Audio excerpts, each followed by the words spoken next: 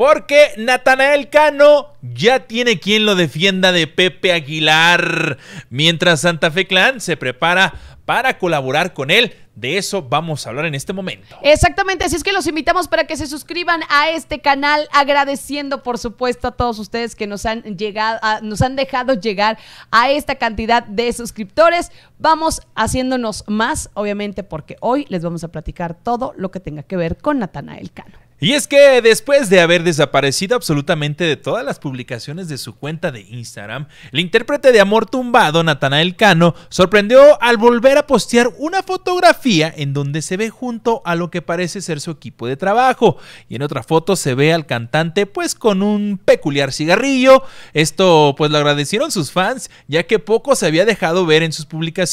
Y como siempre ha sido tema de conversación y polémica, tal fue el caso de una transmisión en vivo que hizo Larry Hernández y Edwin Luna, en donde Edwin se le fue a la yugular a quien critica a Natanael y otras agrupaciones. Cabe mencionar que este video, ojo, que se ha retomado, no es reciente, pero les vamos a platicar qué fue lo que sucedió.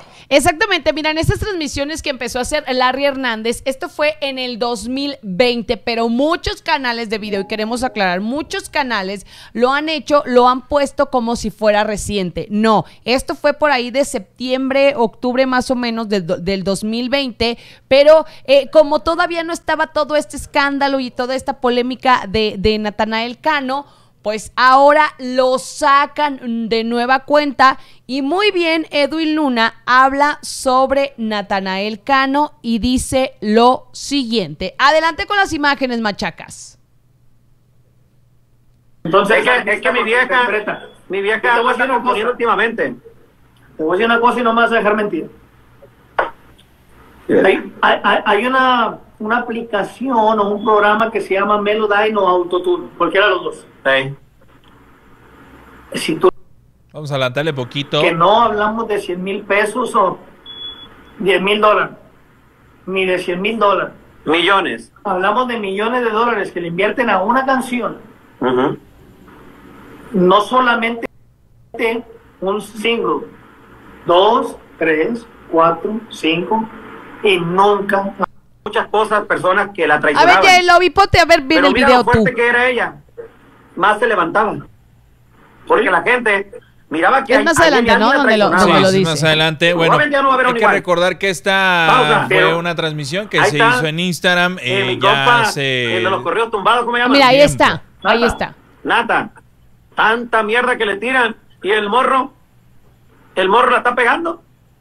Mira, ojalá y no se me enojen porque los quiero mucho, a la neta. No, yo hablo, yo hablo que a la verga, o sea, digan lo que digan, el Nata está rompiendo la huesa en stream. Ahí te va, ahí te va. ojalá, éxito.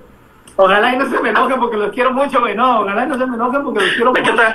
ya andaba borracho el Edwin Luna ahí. Los ¿eh? quiero, los quiero y los aprecio con todo mi corazón. No voy a decir nombres, pero la gente se va a dar cuenta porque por ahí hubo notas.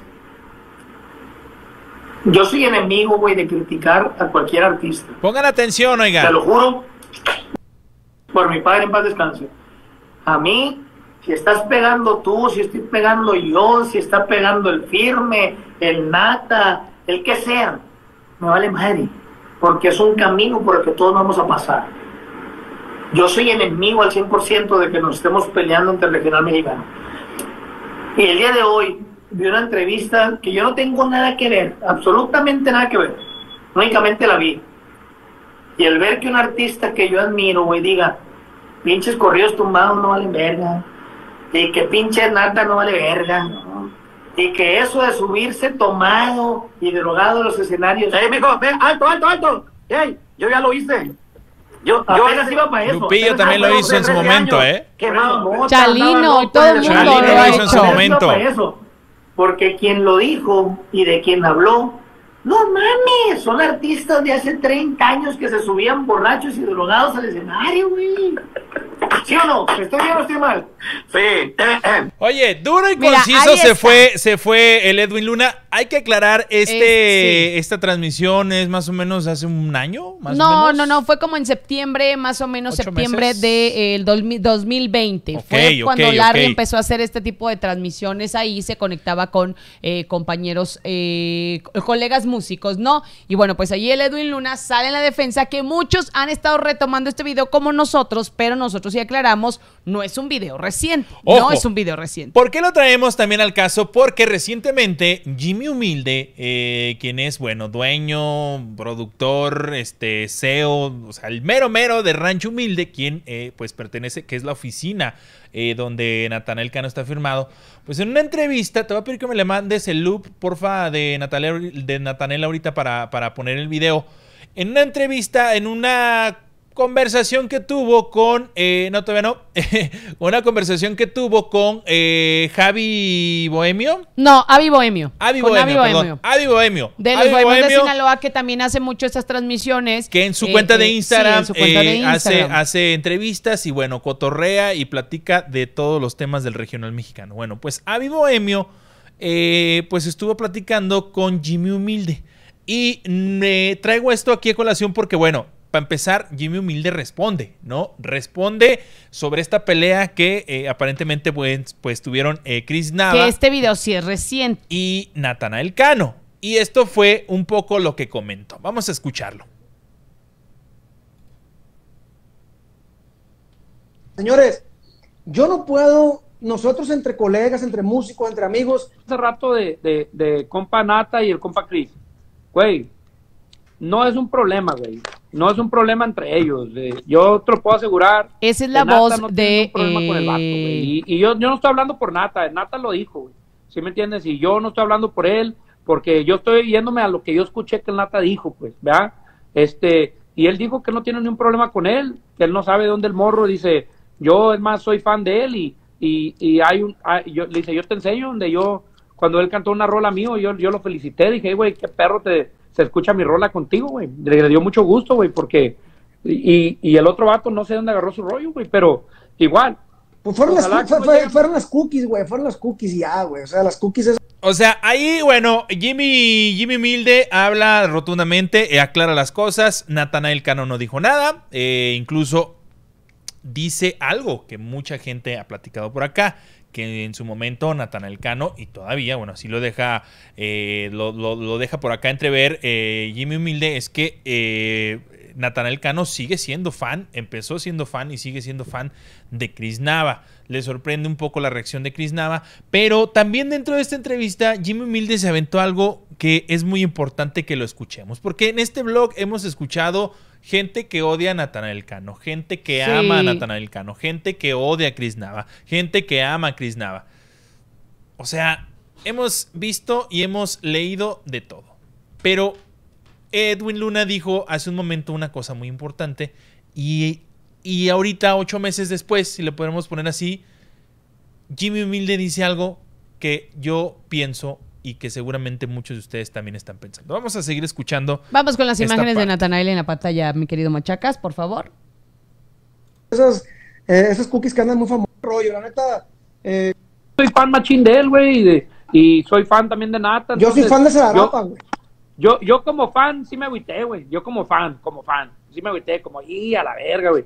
Yo esperaba a lo mejor un día que hicieran algo a la verga, ¿me entiendes? Porque, eh, Es que ¿sabes no se les cae de la boca, Y- y la oigan. yo es mi punto de vista, no es el tuyo ni de Luciano ni de nadie, yo hablo por mí. eh, güey. eh, Espérate, verga, espérate, verga, espérate. El punto de Ahorita vista, se me vino, güey, el- espérate, güey, El punto de vista mío es de que, verga. de, que ya, de, que, de que Nata le pasó por un lado y a lo mejor eso no lo asimila. Pero miren, viene algo muy importante, ¿eh? No creo.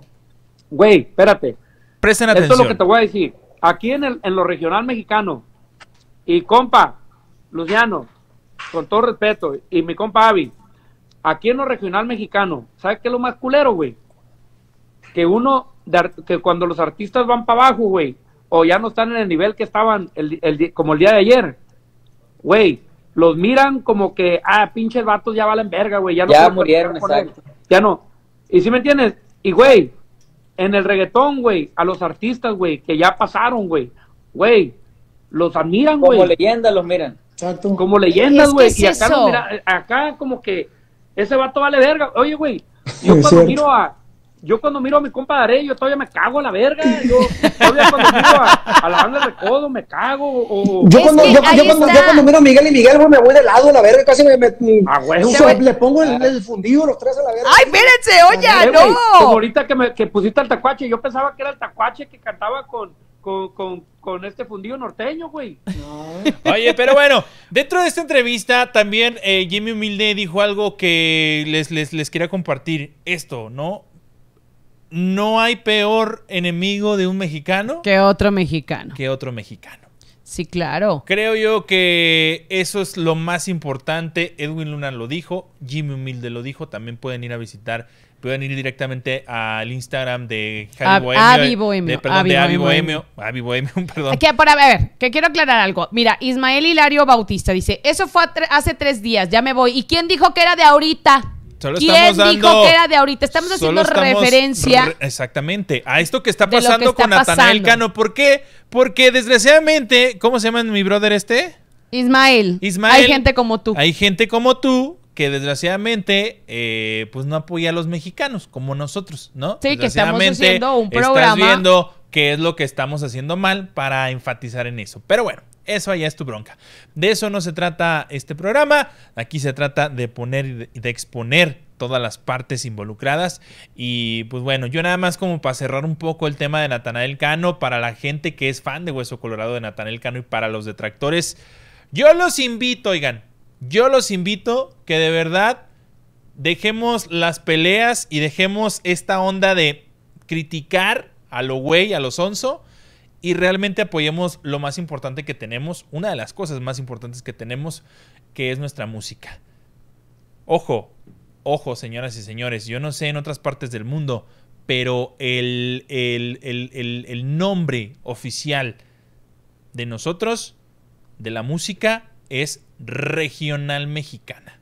Exactamente, y lo más importante es apoyar a tanto talento y darles espacio para que ustedes se enteren de lo que están haciendo y de lo que no, porque bueno, hay gente que sí se entera en el momento de lo que está sucediendo, hay gente que no, por eso se los tenemos aquí, obviamente tratamos de, pre- de tenerles la información de primera mano y eh, pues bueno, agradeciendo la preferencia a cada uno Dice de ustedes, aquí todos los comentarios son Marta Hernández, bienvenidos. dice Marta Hernández, ¿y qué tiene que ver Pepe Aguilar en esto? Bueno, Marta Hernández, seguramente no viste completo, Ajá. te acabas de Sí. conectar, pero bueno, metimos un video donde Edwin Luna da eh, pues unas explica más o menos su opinión acerca de Natanael Cano. Justamente en ese momento estaba reciente lo de, Lo de Julio, Pepe Pre- lo de Aguilar. Julio Preciado y lo de Pepe Aguilar. Sí, exacto. Aclarando, este, Marta Hernández. Exacto. Porque no te conectaste desde, desde hace un rato, pues. Pero ¿no? pues bueno, este ya está la información ahí para todos ustedes. De verdad, muchísimas gracias a toda la gente que eh, estuvo pendiente. Y pues ahí está Natanael Cano, definitivamente